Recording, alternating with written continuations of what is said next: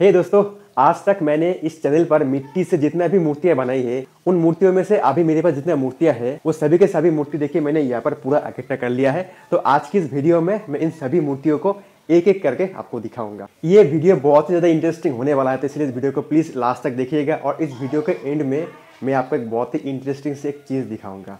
तो इसलिए वीडियो को एकदम लास्ट तक देखिए। दोस्तों, इस वीडियो को बनाने का जो मकसद है वो ये है कि आप लोग जानते होंगे कि कुछ दिन पहले इस चैनल पर वन मिलियन सब्सक्राइबर कंप्लीट हो गया है। तो इसलिए मैंने सोचा कि क्यों ना वन मिलियन स्पेशल एक वीडियो बनाया जाए और उस वीडियो में मैंने अभी तक जितने मूर्तियाँ सेव करके रख पाया है उन सभी के सभी मूर्तियों को मैं आपको दिखाऊँ तो इसीलिए आज के इस वीडियो में मेरे पास जितनी भी मूर्तियाँ अभी तक है वो सभी के सभी मूर्तियाँ मैं आपको अभी दिखाऊँगा। हालाँकि सभी मूर्तियाँ मेरे पास नहीं है। मैंने इस चैनल पर अभी तक लगभग साढ़े तीन सौ से चार सौ मूर्तियाँ बनाई है, लेकिन अभी मेरे पास यहाँ पे सिर्फ़ नब्बे से सौ ही मूर्तियाँ हैं। बाकी मूर्तियाँ मैंने या फिर तो सेल कर दिया है, या फिर मैंने उस मूर्तियों को तोड़ के दोबारा से उस मिट्टी से मैंने मूर्ति बनाई है। तो मैं इस मूर्ति को कैसे सेल करता हूँ, ये मैं आपको बताऊँगा वीडियो के एंड में। फ़िलहाल, अभी चलिए, मैं इस मूर्ति को एक एक करके आपको दिखाता हूँ, लेकिन उससे पहले वीडियो को प्लीज़ एक लाइक कर दीजिएगा, क्योंकि अभी आप वीडियो में खो जाएँगे और लाइक करना भूल जाएँगे तो इसलिए प्लीज़ वीडियो को एक लाइक कर दीजिएगा। और चलिए, मैं अभी आपको एक एक करके ये सभी के सभी मूर्तियों को मैं आपको दिखाता हूँ। तो देखिए दोस्तों, इतना सारा मूर्ति अभी मेरे पास है। तो चलिए शुरू करता हूँ मैं सबसे छोटे मूर्तियों से। तो दोस्तों, ये देखिए, ये जो मूर्ति है ना, ये दुर्गा माता का मूर्ति है। ये मूर्ति नहीं है मतलब एक छोटा सा रिलीफ फेस है दुर्गा माता का, जो मैंने बनाई है। ये एक बनाई है, उसको मोल्ड करके ये दूसरे भी बनाई है, ठीक है? इसका वीडियो बहुत जल्दी आएगा। अच्छा ये देखिए दोस्तों, ये है लक्ष्मी माता की मूर्ति। ये मैंने करीब दो साल पहले बनाई थी। और दोस्तों, ये देखिए, ये हनुमान जी का मूर्ति है। और ये देखिए दोस्तों, ये है एक और हनुमान जी का मूर्ति। ये मूर्ति भी मैंने आज से लगभग तीन साल पहले बनाई थी। ये देखिए दोस्तों, कैट का एक स्टैचू बनाया था। और ये देखिए दोस्तों, ये एक गणेश जी का मूर्ति है। ये भी आज से लगभग तीन साल पहले मैंने इसको बनाया था। उसके बाद ये देखिए, यहाँ पर एक बाफेलो का मूर्ति है। यहाँ पर एक गणेश जी का मूर्ति है। यहाँ पर एक श्री राम का मूर्ति है। ये देखिए, तीर लेके हाथ में धनुष भी था, लेकिन वो पता नहीं कहीं पे खो गया। और यहाँ पे देखिए, यहाँ पे एक गोपाल का मूर्ति है। और यहाँ पे है गणेश जी का एक मूर्ति, ये भी मैंने तीन साल पहले बनाया था। तीन साल नहीं, दो साल हो गया शायद। ये देखिए, ये मूर्ति भी बहुत ही अच्छा एक मूर्ति है, गणेश जी का मूर्ति जो कि एक सिंहासन के ऊपर बैठा हुआ है। उसके बाद दोस्तों, ये देखिए, ये सरस्वती माता का मूर्ति है। ये भी बहुत ही अच्छा एक मूर्ति है। उसके बाद इनको तो आप सभी लोग जानते ही होंगे, आप लोग सभी इनको पहचानते हैं। और शायद इनको भी आप पहचानते हैं। अगर पहचानते हैं तो कमेंट बताइए कि ये कौन है। और इनको भी आप शायद पहचानते ही होंगे। मतलब जितने भी मैंने पोर्ट्रेट बनाई है इन सभी को शायद आप लोग पहचानते ही होंगे ठीक है? तो ये भी कमेंट कीजिए कौन है। उसके बाद दोस्तों ये देखिए ये तो आप शायद डेफिनेटली पहचानेंगे कि ये कौन है। सो so, उसके बाद ये देखिए दोस्तों ये है रविंद्रनाथ टेगोरी। उसके बाद ये देखिए साइड में ये कौन है ठीक है? ये एक डायनासोर है। अच्छा दोस्तों, यहाँ पे देखिए, यहाँ पे एक छोटा सा डियर है हिरन है। दोस्तों, यहाँ पे देखिए ना कि जो मूर्ति है, मूर्ति के ऊपर ऐसा काला काला एक रैश पड़ गया है। तो ये मूर्ति जहाँ पे थी, उसके साइड में हमारा किचन था। और किचन में जो चूल्हा था, चूल्हा का जो धुआँ है, वो यहाँ पे ऐसे पड़ के ऐसा हो गया है। कुछ कुछ मूर्तियों में ऐसा हो गया है जो वहाँ पे था, ठीक है? ये देखिए बहुत ही पुराना मूर्ति है। ये देखिए, ये एक टाइगर है जो कि मैंने आज से लगभग तीन से चार साल पहले बनाया था। हाँ चार साल पहले बनाया था। तो इसीलिए ये मूर्ति ऐसा हो गया है। ये देखिए, ये कृष्णा जी का एक मूर्ति है। ये गाय बछड़ा है और ये देखिए, ये एक शिव जी का मूर्ति है, ये देखिए शिव जी का भी हाथ टूट गया है। ये देखिए दोस्तों, ये एक सरस्वती माता का भी मूर्ति है, ये भी मैंने तीन साल पहले बनाया था। और ये देखिए, ये एक एंजल का मूर्ति है। इसका भी देखिए, एक हाथ टूट गया है, इस साइड का जो हाथ है, ये भी टूट गया है। और पीछे एक लायन है। यहाँ पे तो गणेश जी का मूर्ति जो मैंने इस साल बनाई है, ये आपको बाद में दिखाऊँगा। अच्छा यहाँ पर देखिए, यहाँ पर दो डॉल है, फीमेल फिगर है। और एक मेल फिगर है ठीक है? ये देखिए ये दोनों मैंने एक साथ बनाया था। एक साथ नहीं मतलब अलग अलग वीडियो बनाया था, लेकिन इसको मैंने एक साथ रखा, क्योंकि मैं इसको मतलब वो वैसा है कि एक गर्लफ्रेंड, बॉयफ्रेंड या फिर कपल जैसे मैंने इसको बनाया था। ओके तो यहाँ पर देखिए, एक छोटू सा बेबी, जो कि एक किताबें पढ़ रहा है। इसका फेस है। अच्छा यहाँ पे देखिए, एक मैरमेड है। ये देखिए जल परी ठीक है? ये देखिए दोस्तों, ये है एक फीमेल मॉडल। ठीक है? Lady figure. यहाँ पर एक फीमेल है जो कि अपना जो लहंगा है, इसको ऐसे करके नाच रहा है डांस कर रहा है, ऐसा कुछ। एक विलेज गर्ल है जो कि ऐसे बैठा हुआ है, बैठ के शर्मा रहा है, ठीक है, ऐसा कुछ। और ये भी है, ये भी एक विलेज का एक वुमेन है। ये ऐसे अपने बालों को बाँध रहा है, ये देखिए, ठीक है। ये भी मैंने आज से लगभग चार साल पहले बनाया था। उसके बाद दोस्तों, ये देखिए, ये भी एक, वैसा ही एक गाँव का एक लड़की है, जो कि यहाँ पे बैठ के सोच रहा है और मन में ही हंस रहा है, शर्मा रहा है, ठीक है? और यहाँ पे एक स्लीपिंग एंजल है मतलब एक परी जो कि सो रहा है। ये देख, यहाँ भी बहुत ही वो धब्बा पड़ गया काला काला ये भी मैंने लगभग चार साल पहले बनाया था। और यहाँ पे एक छोटू सा डॉल है, ये देखिए।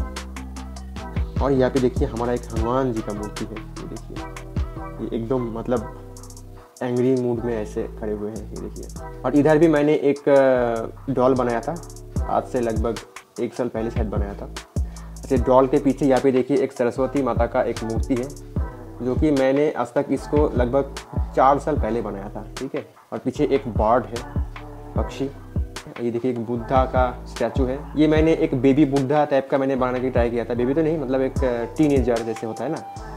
वैसा बालक बुद्धा, ठीक है? हाँ ये ठीक रहेगा, बालक बुद्धा। उसके बाद ये देखिए, यहाँ पे एक और डॉल है, जो कि एक बहुत ही स्टाइलिश कपड़े पहने हुए हैं। ये देखिए। ठीक है फ्रॉक टाइप का। फ्रॉक तो नहीं कहते, इसको कहते क्या कहते मेरे को नहीं मालूम। यहाँ पे देखिए, यहाँ पे एक छोटू सा गणेश है और उसका वाहन है।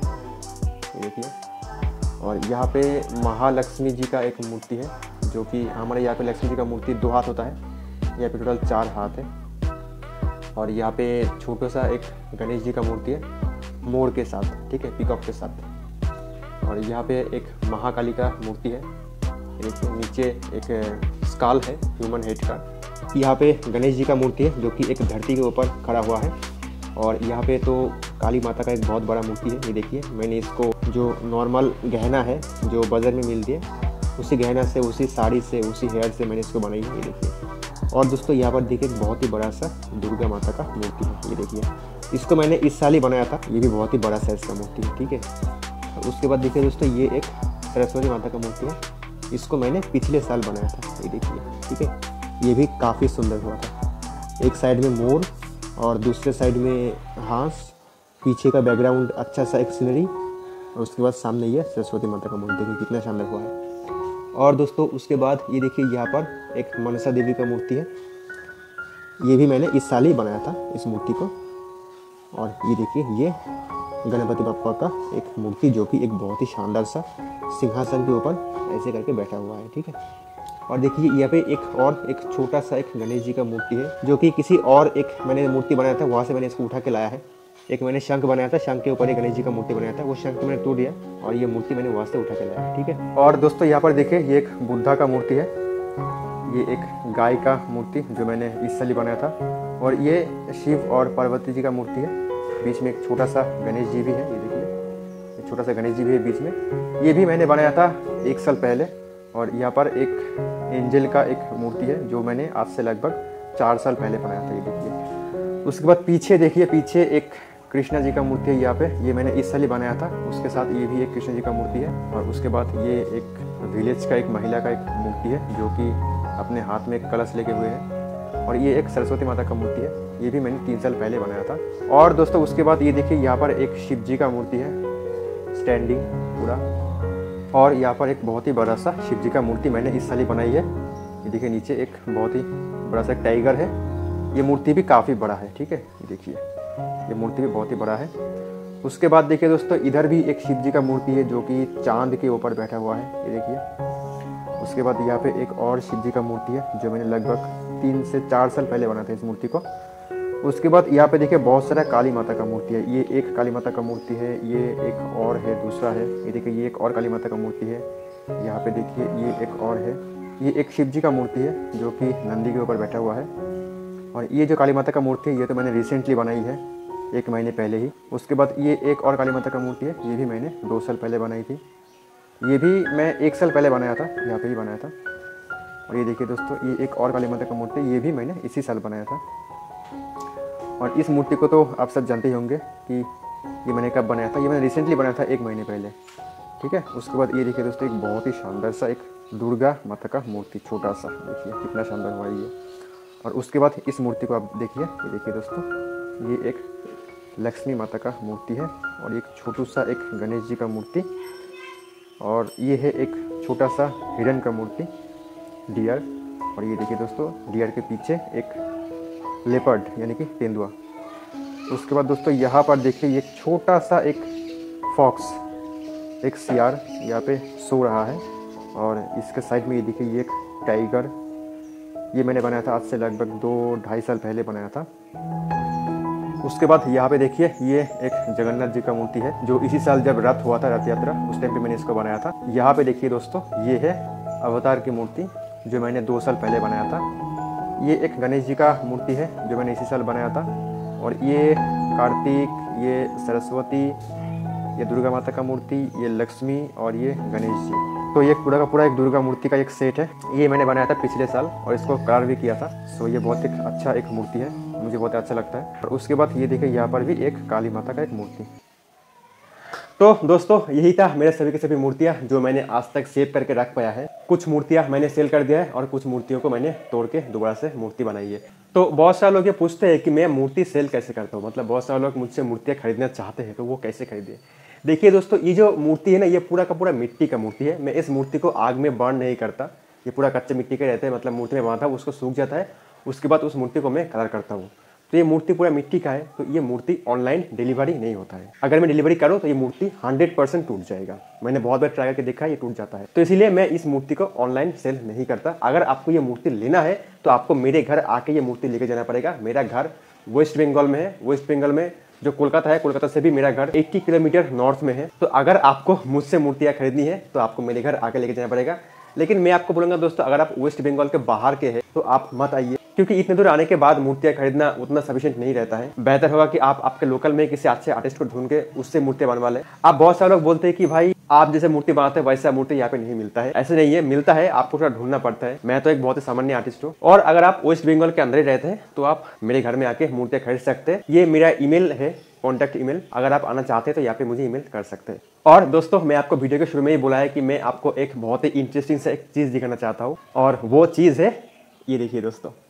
ये है एक गोल्डन प्ले बटन जो कि जब किसी चैनल पर वन मिलियन सब्सक्राइबर हो जाता है तब दिया जाता है। तो दोस्तों, मैंने कभी ये सोचा भी नहीं था कि मैं एक दिन ये गोल्डन प्ले बटन मुझे मिलेगा। तो इसके लिए आप लोगों को बहुत बहुत धन्यवाद। अगर आप लोग मुझे इतना सपोर्ट इतना प्यार नहीं दिखाते तो ये गोल्डन प्ले बटन आज मेरा नसीब नहीं होता। तो इतना सपोर्ट दिखाने के लिए आप लोग को बहुत बहुत धन्यवाद। मैं उम्मीद करता हूँ कि आप लोग आगे भी मुझे ऐसे ही सपोर्ट करते रहेंगे, ऐसे प्यार दिखाते रहेंगे। और अगर आज तक मुझसे कोई भी गलतियाँ हुई हो, और अगर आगे भी मुझसे कोई भी गलतियाँ होगा तो प्लीज़ आप लोग मुझे बताइएगा। मैं मिट्टी से भगवान का मूर्तियाँ बनाता हूँ, लेकिन मैं तो इंसान ही हूँ ना। तो इसीलिए मुझसे भी कई बार गलतियाँ हो जाता है। तो चलिए दोस्तों, आज के लिए ये वीडियो इतना ही। वीडियो को अगर आपने अभी तक लाइक नहीं किया है तो यार प्लीज़ वीडियो को एक लाइक कर दीजिए और चैनल को भी अगर सब्सक्राइब नहीं किया, सब्सक्राइब कर दीजिए। अभी तो हमारा ये चैनल वन मिलियन तक पहुँच गया है। तो आपसे मैं बहुत ही अच्छे अच्छे वीडियोज़ देने का ट्राई करूँगा। तो चलिए, मैं मिलता हूँ आप लोगों से नेक्स्ट वीडियो में। तब तक के लिए टाटा, बाय बाय।